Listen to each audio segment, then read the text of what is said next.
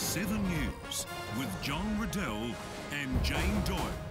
The Royal Adelaide Show is always a great day all week out with plenty of things to keep all the family entertained. And with the 7 News Experience set, recording some of Adelaide's hidden news talent, it's even better. Let's cross now to our correspondent at the showgrounds. See you soon.